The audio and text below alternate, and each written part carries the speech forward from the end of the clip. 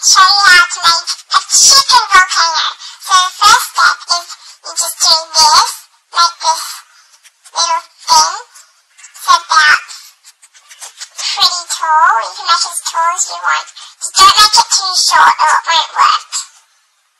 You put a lot of chickens in it.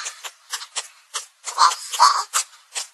And if you don't like chickens, this is a good revenge. Or you can just put lava Um, in a big tube and make this thing and then put the chickens in they'll die. But I'm just doing this for fun because I feel like it.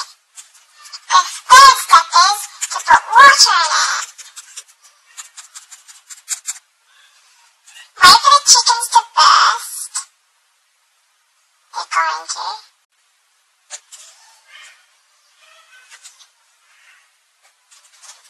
And now the chickens